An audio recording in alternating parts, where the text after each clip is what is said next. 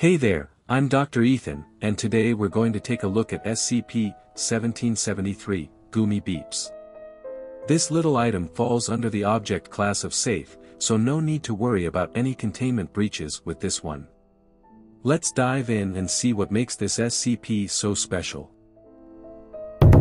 SCP-1773, also known as Gumi Beeps, is to be stored in its original plastic container in a refrigeration unit when not in use. It is crucial to exercise caution and refrain from consuming SCP-1773 during testing. If SCP-1773 is mistakenly ingested, it is imperative for personnel to undergo stomach pumping within 30 minutes. Additionally, it is optional to add 10 grams of dust to SCP-1773's container once every two weeks.